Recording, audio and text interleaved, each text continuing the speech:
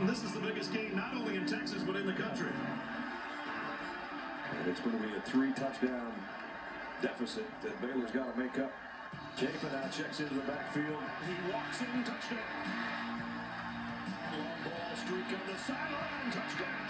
Goodley. They're built to try to come back in this situation. Petty, play action. John White, Coleman, touchdown! Touchdown,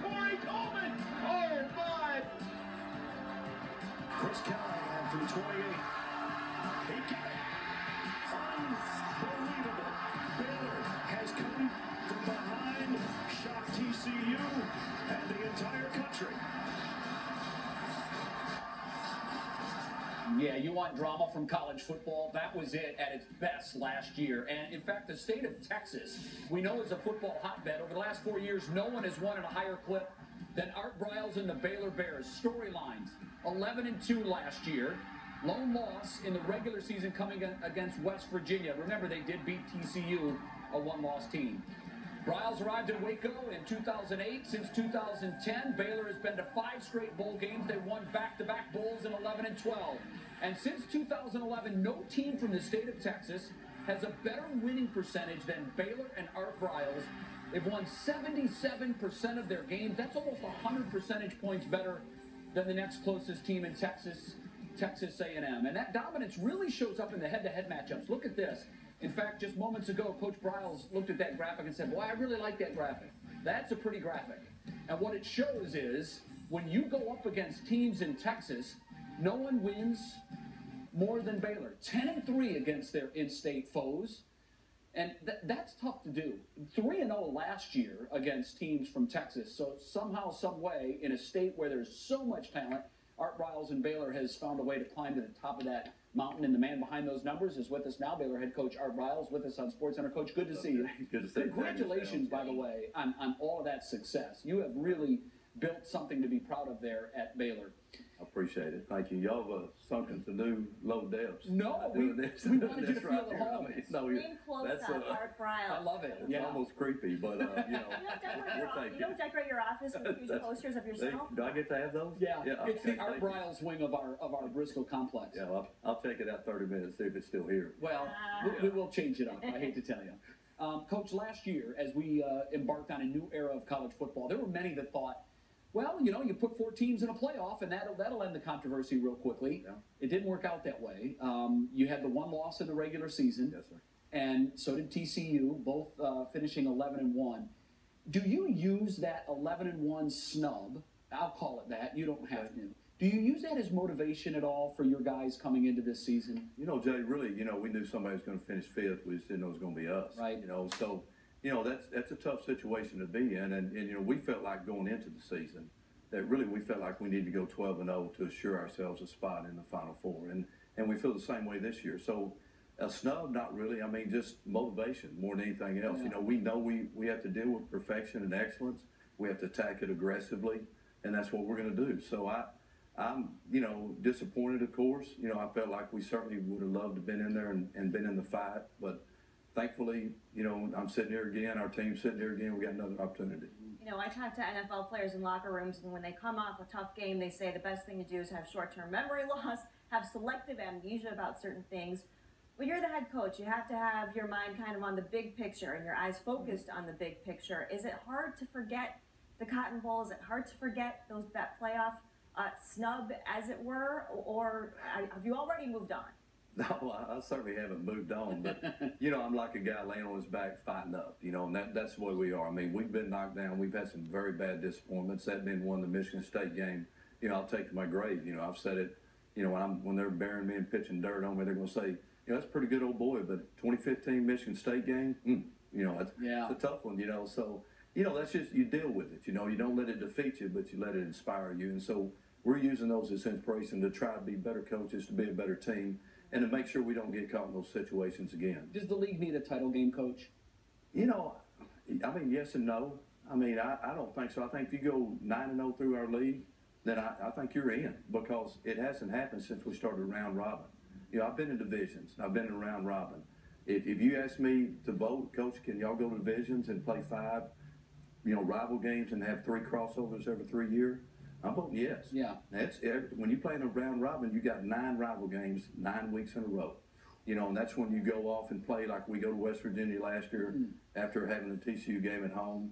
Go up there, kickoff at 11 a.m. our time, and we get beat against a very good football team that was very hungry and really wanted to beat us. So my hat's off to them. But that's what happens when you have nine rival games, and that's what we have. But you say 12 and 0 this season. You guarantee it. You're on the record But- in the playoff. Book it. But it in ain't. Yeah, Michelle, we're good. Even with all the variables that are not in your control when it comes to that playoff. that you don't need them because I mean that's that's solid. I mean because if you do that in our league, I mean you're, you're going to defeat some top ten teams. You're going to at least beat one or two, and you're going to probably hit four or five top twenty five. So that's that's a resume that's strong enough to, to challenge anybody in America. Which we were close last year. We had more top ten win, wins, you know, than anybody else in America last year. So we're we're on the cutting edge. I mean we're in, we're in the hunt, and that's all you can ask for. All you want's a place at the table. Boy, Now we got to eat. we look at this schedule, and I know you've peeked at it. It's frightening.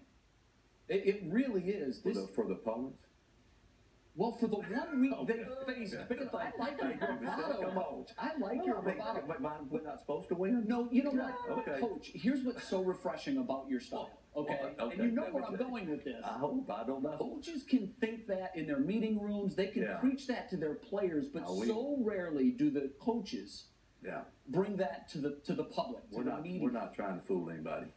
You know, we line up, we expect to win. You know, and, and you, you know what you're going to get when you play us. We're going to be dynamic, we're going to be aggressive, we're going to be fearless, and we're not going to make excuses. We're going to play ball.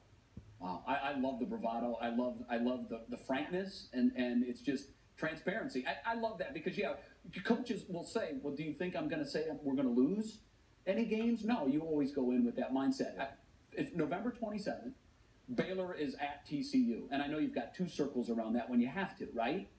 You know, honestly, we've got SMU game circled on Friday night ESPN. You know, opening Now up that's college coach football talk. season. I mean, No, and that's, that's reality smart, though, yeah. because we're going there, you know, with a new QB and a, and a new team, and we're walking into a stadium that's going to be the, the livest it's ever been because they're playing Baylor. Yeah. You know, and so that's that's a situation we're looking at, and that's that's where our season starts. You're wearing a target now, aren't you? It's big. You know, it's big. I mean, I, I feel like there's snipers up there. You know, so we we got to watch what we're doing. You know, and we got to be real good at how we're doing it. Well, coach, you have a new QB, you have a new offensive coordinator with your son Kendal. What's it like working with him? Such a close family member. I feel like you probably feel like you have more license to be a little bit harder on him than you would a normal OC. Yeah, you know, with, with Seth, you know, we're excited about Seth. You know, the thing I like about him, you mentioned the QB. You know, the thing I like about Seth is that he walked into the Manning camp, nobody knew who he was.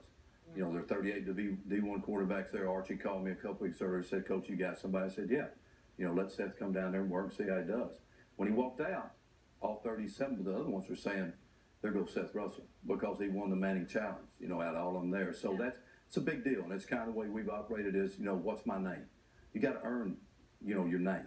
People have to, you got to do something to earn your name. So he did that. With Kendal, you know, it was just What does he have to do to earn his name? He's just got to keep the ship straight. You know, he's just got to be calm. He's got to be cool, and he's just got to play within himself. That's all he's got to do because we got good people. You know, we got nine back on defense. We got eight back on offense. We got some guys that have won a bunch of football games at a championship level. All different types of experience. Our experience is championship experience. You know, we just got to take that next step. But you know, we're right there. You know, it's not like we're running up to the side of the cliff. We're standing there, so we're ready to go. You know, we're ready to jump, all in. So that's that's the big thing. That's all he's got to do is be right. And with Kendal, you know, it's just the right place at the right time. It's all he's ever known. All he's ever known is how we do things ever since he could say "mama." You know, he's known our style of football. Yeah. So it's either, you know, I mean, why, you know, why go looking when you got what you what you got? Yeah. And and he's the guy that can do it, and has nothing to do with him being my son. You know, I mean, he's the best guy for the job. I have to ask you about your massive tight end, Laquan McGowan. Uh, I watched him last year in the Cotton Bowl on that play where he was wide open and just walks into the end zone. He, he said that at I- six I eight, can't get enough of this. it's awesome. He Yeah. said that with pads he weighed 440 for that game last year. This is a weapon that coaches dream of. How, how do you how do you plan to use him this year? Will we see more of this? You know, the, the, the strange thing about this, Jay, is that it's really an experiment, you know, but Yeah. it, it's a Yeah. chance for him to help our football team. We really didn't feel like he was an 85 play player game, maybe 14 to 25. So it's a way to utilize him. I mean, we're doing it because I think he brings an unfair advantage for us from an offensive standpoint. Yeah, how do you know, stop him? Well, nobody's got a guy like that. No, Yeah. I've never had a guy like that. And, to me, I've always said I think we're dealing in 2035. You know, I think in 2035 there'll be six, seven, 400 pound people. Really? Right now, there's one, and he's a Baylor. Yeah. And so we we've got to use him productively to help us win football games, and that's why we put him there. And he's a slim 403. He looks right good. now. He I, was I've, well. I've seen the man without a lot of clothes. He looks good. And you have a nickname for him, right?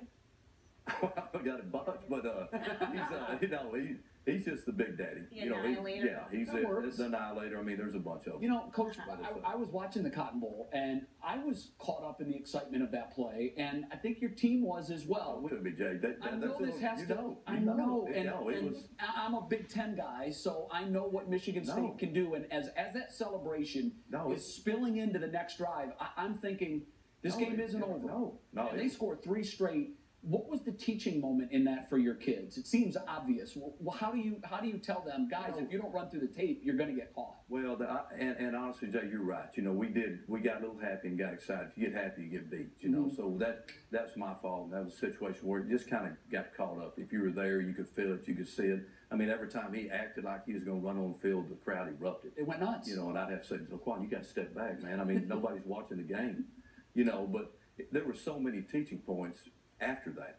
You know, I mean, you know, we intercept a pass, run back for a touchdown, get a call back, don't get any points. You know, we get down there and get a penalty with first and goal, three up by six with a minute 52 left, them no timeouts, get a call back on the penalty, then we get a field goal block, they go down in, in the game's history.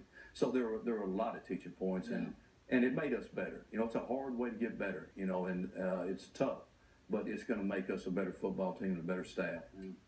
Can't wait for this season. Art Briles, thank you. It's always. Let's play. Yeah, we love your style. Well, Keep it coming. don't don't hold back. We love it. We ain't we ain't changing. We're I good. Love that. Much good luck. Okay. College